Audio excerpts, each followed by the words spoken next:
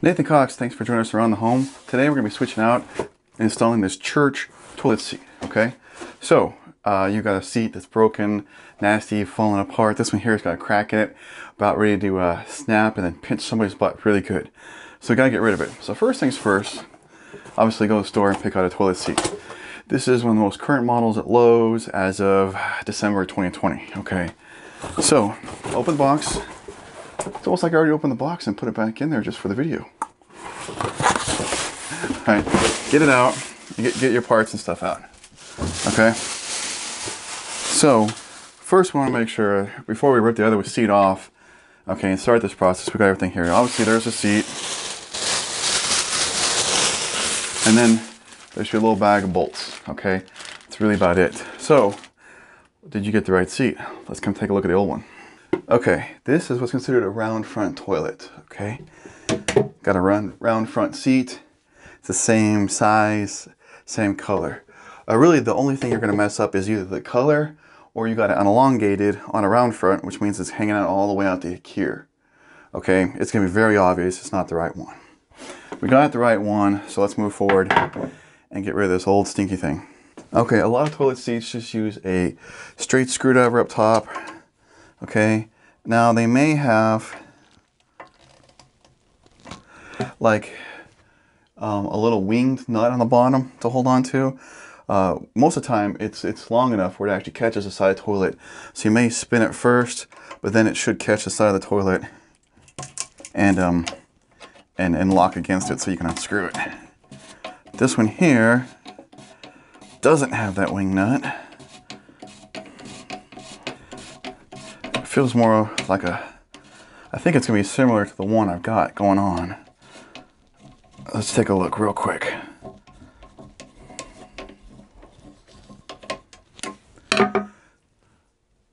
Okay, so it's a little socket on this one. Let's see what we can do to make the other one easier.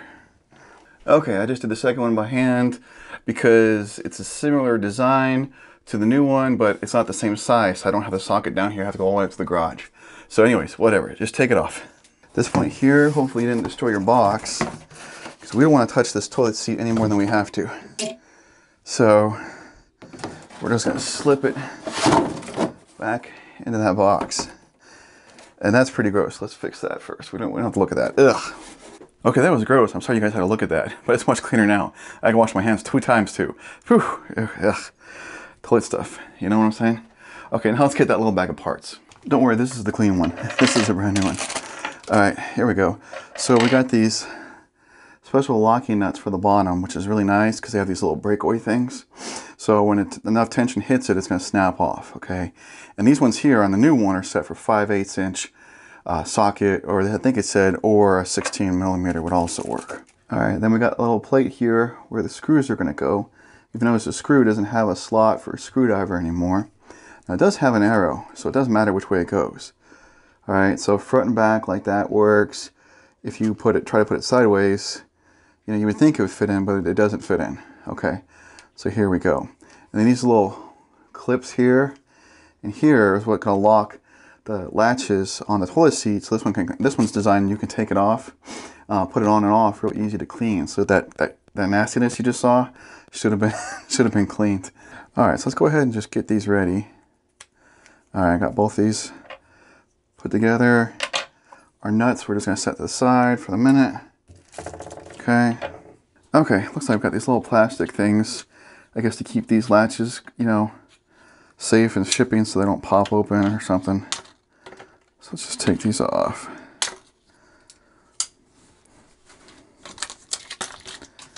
All right, now we can open them up. Okay, and then set the toilet seat in place. And actually on this one here, it's a little bit newer design. So before we set it in place, let's take these and slide them in. Okay, very cool. And then we'll take this one here, do the same thing. That way everything's squared up with the seat. Okay, and now we're gonna take these, just drop those bolts down the two bolt holes. All right, now this part's gonna be kind of nice, because I always hated trying to hold these with a screwdriver. And some of the old ones, they did not like to be held with a screwdriver. They would try to strip out every chance they got. All right, so we're gonna take these nuts and there's kind of a, um, a washer kind of built in there. So that's gonna go up top. We're just gonna get it set. We're gonna start the threads, okay, on both sides. Okay, make that sure the toilet seat is lined up. Okay, kind of squared up with the toilet. Now, instead of using a hand ratchet, which you can definitely do, I have an impact, and my uh, daughter and son-in-law graciously gave this to me for Christmas. And this one's kind of neat. It actually has a power setting uh, for the forward speed. So I got it set on low. So if you're going to use a power tool, make sure it's like on the lowest setting or just barely pull the trigger because uh, you're just going to kind of rip this apart if you don't. All right.